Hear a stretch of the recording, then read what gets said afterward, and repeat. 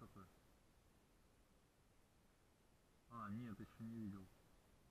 Сейчас гляну.